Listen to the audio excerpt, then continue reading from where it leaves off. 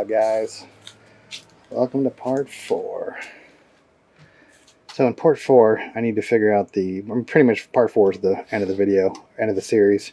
Um, so I ordered some cable chain, and I don't know if I can get this in there or not. I mean, I guess I could get smaller cable chain, I guess, but I mean, I wanted to get that Bowden tube in there if I could, but I don't know if I can be able to fit in there. Just, I mean, I'll, I'll figure it out. But either I'm going to do cable chain I'm just going to wrap this up nice and organized. That, should work too. Um, just it's pretty tight in here up this way for the cable chain, so I can. Uh, I still haven't given up on it yet. So, um, but I did design the new uh, cooling duct for the part cooling fan. So um, yeah, I worked on this last night. Fusion 360. So I decided originally this thing had a 50-15 fan, so I wanted to go to like a 40-20 fan here. Um, yeah, I, I, mean, I'm not going to need a lot of cooling. Like I said, the primary function of this printer is uh, high-temp materials, ABS, nylon, polycarbonate. Um, so, um, let me show you that works. Let me get that on there. This is going to go here over the fan. And let's see there's little holes in here. That allows air to come through. Well, three of the sides are open. So that's going to mount on top of here, and that's going to hold the 40-20 fan back here and then this is the duct that goes underneath it. So I did this in carbon fiber PLA, but alright, so that's going to go something like that. Somewhere in there, hopefully. I might have to redo this, but we'll see. And then I kind of, in my CAD drawing, I actually downloaded the Biqu H2 in this, this fan, so I kind of modeled, modeled it around here. So I'm guessing it should sit somewhere in here. I might have to mess with the height, so Alright, so I'm going to get the 40-20 fan on there. So not all these 40-20s I noticed are the same. I mean, the outside dimensions are the same, but look on the side. See how this, this, this is actually a dual ball bearing one, which is pretty good, Winsinn. Um, but see how this goes a lot further up than this one? This is a Creality one. So, to me, it seems like you don't have a smaller gap to suck in air between here and here. You know, whereas you have a lot more space in here to grab air. I mean, this was for a specific, like a part cooling fan on a Creality printer, but you have a lot more area to capture air. So I think I'm going to use this Creality one. I don't think, I don't know if it's dual ball bearing or not, but yeah, this, uh, sleeve bearings. The sleeve bearings, they wear out really fast.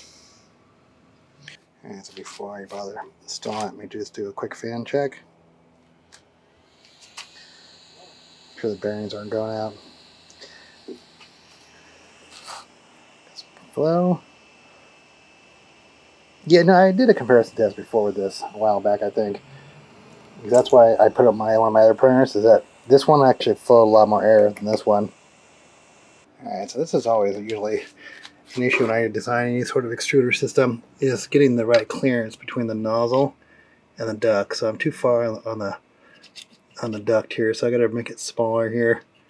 Um, but at the same time, I want it to direct, not sort of I want it to be at an, I want, I don't want it to go straight on. It's kind of tilted at an angle to go down like that.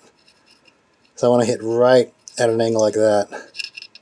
So I'm slightly hitting the tip, but I'm also going down into the part a little bit as well. So, um, I figure about maybe two. I mean, I want it to be close, but I also don't want it to be, I don't want it to hit like a, you get, you get like part curl. If the part starts warping and curling, you don't want to hit the duct as well, too. So, what's funny is I had all this modeled like uh, with the stuff in there, like with the the thing. But like I said, the dimensions just aren't correct. So, a couple adjustments. Got some good clearance here. A couple millimeters clearance. Popsicle hot right now. All right, it's a couple millimeters clearance, and the direction of the flow is like on this direction, like right here. So it's like right in the path. I mean, I guess it could go a little bit lower down this direction it's sort of like right. that's what at least it feels like this way. It's also hitting this thing coming down, so we're getting good flow. Alright, then I um, decided to just wrap the, the wires. So I'm still going to, I'm probably to put like a 90 degree bracket here to bring this down. Let's It stays down here. Mm, maybe, maybe it'll work itself in, but now I can get full clearance. Yeah, I wasn't to be able to fit the cable chain in there. Maybe with a smaller cable chain, but... Alright, so I'm still to modify the wires. Make it look a little bit more clean here. Just so you don't see the wires, maybe. Design some sort of bracket to come around here. Up and around, like a 90 degree bracket. Um, but yeah, I got more things to do. Worry about that right now. So, um, all right, so I got good flow coming through here. So the air, the fan, the 35 millimeter fan now is inside this ducting right here. So I'm getting air on three sides. Should be enough. It's not a big fan, so I should have enough volume space-wise to get enough air cooling in here. So we'll see. It's meeting this up to 260 right now, 90 degrees. Good. Do another uh, ABS uh, test cube. So what I'm testing here is I'm going to do a calibration cube in ABS. But because the, the part is so small, the layer time doesn't have enough time to cool down, right? So that's where the layer cooling fan comes in, a partial layer cooling fan. Like if you're doing a really big part, it doesn't matter because there's enough time for the layer to cool down between runs, right? But when you're doing a really small part, you have to use a layer cooling fan. I've been pretty 3D printing for a very, very long time, and it's still fascinating to me. Just the movement, how this thing operates. You know, it's pretty crazy. You know, we didn't have this stuff growing up, so at least for me, you know, like when I grew up, we didn't even have cell phones or internet. So right now I'm using Orca Slicer uh, ABS defaults. So the fan just kicked in. So we'll do a before and after of what it looks like with and without the cooling fan. At least on a small calibration cube. Yeah, after three layers, it kicks on a percentage. The fan. So it's not max fan. It's probably like. I guess I can. I'm able tell here. Let's go to settings 73%, so um, I guess that's kind of a lot of fan. I mean, that's what Klipper has for, for default, so. Alright, huge improvement. So, I mean, I actually have not zero tuning with this thing, so. Um, can hook up my accelerometer to it, maybe, do some tests, maybe a pressure advance test. Yeah, this is definitely like a unicorn printer. I haven't seen this printer any other place.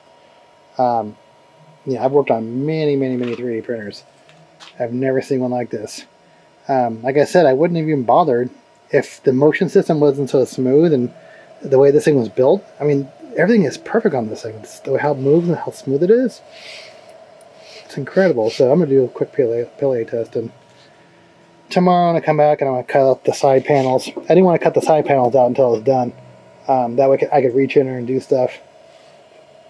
So, yeah, that's incredible. So let me get the, uh, let this thing cool down.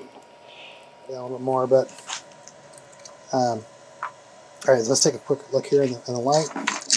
So I knew this printer would actually print good because I could tell this was a PLA with the stock firmware that was on there. I mean, that's pretty damn good for a stock printer. Um, I mean, look how tight the layer cooled. I think these are probably 1.1 millimeter, but look how, I mean, there's some vibration, so I haven't even done any sort of tuning on this thing, but I know the mechanics can do the can do that good, uh, yeah, that well of a printer, but I know small printers actually typically also print better. So here's sort of an evolution of, um, this is when the actual, uh, the pulleys were off. Like it has an odd 17 uh, teeth pulleys. So, um, so it's actually 34 as a rotational distance. So, um, I thought I had one that was worse than this somewhere. Yeah, I might have thrown it away. Uh, but you can see the, the difference in the cooling. Alright, so I'm going to do a carbon fiber PLA thing here. So I'll get my, actually I'm probably going to change the offset here a little bit. Down to fine tuning. Let's see here. I'm going to bring it down.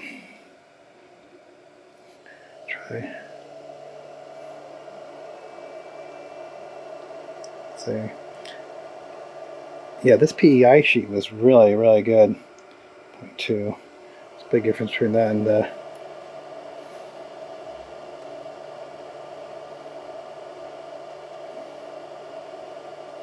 Well, one thing I will say is because this plate is so big it holds the bearings, you really can't even see. It's very difficult to see what you're printing. So I might put an LED in there probably. Um, maybe somewhere in here, you know, put some kind of LED facing down, maybe even the back facing forward so I can see, you know, what's going on with the, the thing there. So now I gotta figure out this thing up here, my, my wire.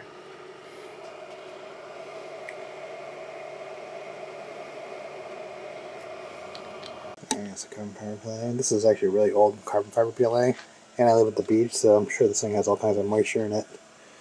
But what I'm looking at is how crisp the lettering is. I'm not too worried about surface quality because I can fix a lot of that stuff. God, whatever this PI sheet is. I ordered a new PI sheet because I ripped a hole in this one. Plus, this one was come up anyways. Like it was when I was doing the ABS, it would the the adhesive would come up. So let me get this up. I'll just take a look at the light here. Alright, so this is not going to be a high-speed printer, but you can see I need a little pressure advance here in the corner on that letter right there, the X. Very I mean, carbon fiber PLA, if you're not familiar with it, prints incredible. See the see how rough it is? I'm guessing there's a lot of water in the filament. That corner, I could probably do a little pressure advance over there. Right there on the end of that Y. The right-hand edge of it. So, yeah, you can see some ghosting there on the X. Alright, so alright, tomorrow I'm going to do the plates. Back tomorrow, I'll cut the fiberglass, or not the fiberglass, but the plexiglass plates and get them mounted. And, um, yeah, I'm pretty excited, man. This, this printer's giving me a good printer. Maybe I can, I might be able to retire the printer, but not retire, but put it like in a mothball fleet. because this thing has saved my ass so many times. It's kind of crazy. Um, like when all my other printers would fail, this one would actually still be working. That's why I didn't. I kind of stopped modifying it probably like two or three years ago, just because I wanted a very reliable printer in case all my other ones fail. Well, but the other ones, since I'm playing with them so much, they're always failing. So, um, yeah, I'm always experimenting with them. So, all right, today is a new day excited to get my desk clean again, get this thing finished. So, interesting observation I made last night. This printer prints better, faster. So that's 60 millimeters per second. This is PLA plus, and that's 100 millimeters per second. So take a look at that. Hope you can see that in the light. Um, see, the lines are smoother. So I was actually dialing pressure advance, and I was trying different speeds and obviously it's not dialed in. You can still see the corners, but I mean, see how much smoother it is on the surface. So it's picking up some kind of resonance at slower speeds. This is, you know, I think this is a hundred different different results, but um, but yeah, look how smooth those backs are. You know, so I'm picking up what's it called? Some kind of resonance here in, in the printer. But see that? Way better surface quality. Um, all right, so I decided to hook up my little um, resonance tester. I have this for many years. I think it's a KUSB. I designed a case for it too. Um, it's on my Thingiverse page, but since I, I, took it out of the case, I could uh, hook onto the thing here. So I'm gonna do a. I already have a macro. Same one I use for the other ones. Um, resonance auto calibrate, and that's gonna go back. It's gonna start doing frequency testing. It's going to do X and Y. And then you can see it moving here. And then I'll go back and save the configuration and do another test print. See if it makes any difference at all. Alright, so it's done testing. I'm going to save the configuration. It's going to reboot. And then I'm going to go back and look at the configuration and see what it shows. Machine, printer, it's usually down the bottom save config file. Alright, so that's what it put on there. Two hump DFI. Alright, we'll do another, uh, I'll do another slow config and see if it make any difference. It probably won't make any difference, but I'm to do another one exact like this and see if it gets out any of those ripples. Alright, let's take a look here. So the factory um, firmware had some really small ridges I looked at my original, because I did this one originally in Cura because I actually already had the profile for this printer. But Klipper didn't have, or an uh, Orca Slicer didn't have one, but here's the most recent input shaper. let's take a look. So really, it looks like the ridges are still there. I mean, they're slightly less pronounced, but like it is actually slightly better. Well, all right. So I decided to do a speed run. So it's 120 millimeters uh, outer wall and 200 millimeters inside stuff. So see this thing can hang uh, 5,000 max acceleration. Um,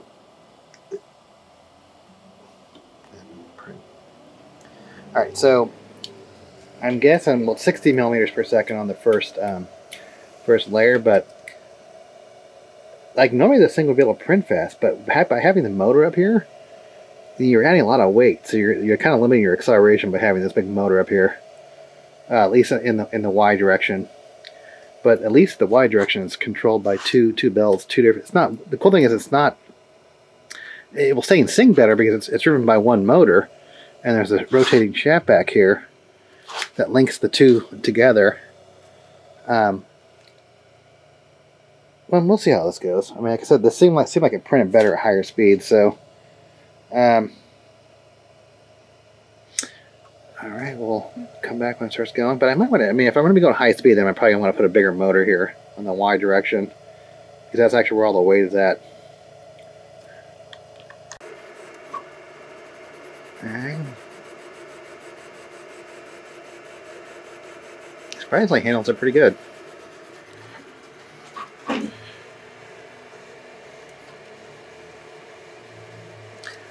So on the inside is 200 millimeters and the outside wall is 120 millimeter.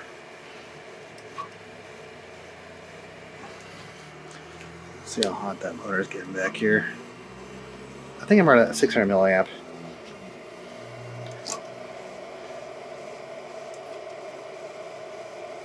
I could cut those panels, uh, the plexiglass panels on the, the router here, but it's going to take a long time on the setup. Um, so I'm just going to hit it with my bandsaw here and then come back and clean up the edges with my belt sander here. Alright, so I knew this printer would be good. Alright, so no pressure advance, 0.2 or 0.02, 0.03. So I'm going to keep on going up until I, until I get to about point, well, until I start seeing it go the opposite direction. So you'll know when it goes the opposite direction, you'll start getting puffy. So it's starting to get a little bit puffy. I got some uh, plexiglass sheets cut out here. Let me show you the uh, quality. I'm sure you call this triangle or what it is, Y whatever you want to call it. Um, so I started out with no pressure advance. Then I went to 0.6, which was, or actually that's 0.4, which is too much pressure advance. You know, up 2, and then 3, and then so I settled between 2.5. And then from there, I just started working on different uh, slicer settings, like different amount of walls and uh, inner, uh, inner, outer, inner, different strategies. I didn't even change the speed though. But this last one is incredible. Desk is kind of dirty, but so some of those those little things right there are, just infill. This you can slightly see them. So what I could probably do is change the uh, acceleration into that corner, like you know, slow down the accel or the uh, the speed and acceleration into the uh, infill when it hits a corner. But um, but the quality is incredible. How smooth the lines are. I can maybe like once I oh, I, also changed the uh, inner outer inner, but I think I said that already. But when I went from that strategy somewhere in here, it seemed like the pressure advance. I could turn it back up by probably 0.05 or 0.005. Alright, so I'm to do uh, another print here for just uh, something I'm working on.